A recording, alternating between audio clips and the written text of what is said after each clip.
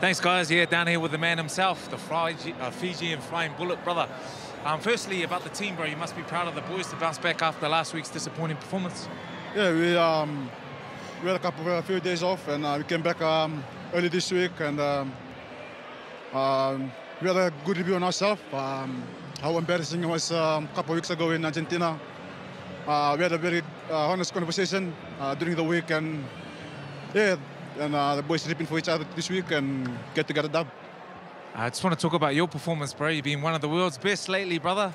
Um, how did you feel out there? Oh, Don't, don't, don't be shy, bro.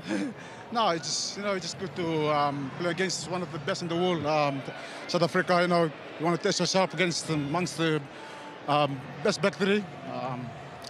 You know, just try to compete there and um, test yourself in um, highest level, especially with the uh, South Africans.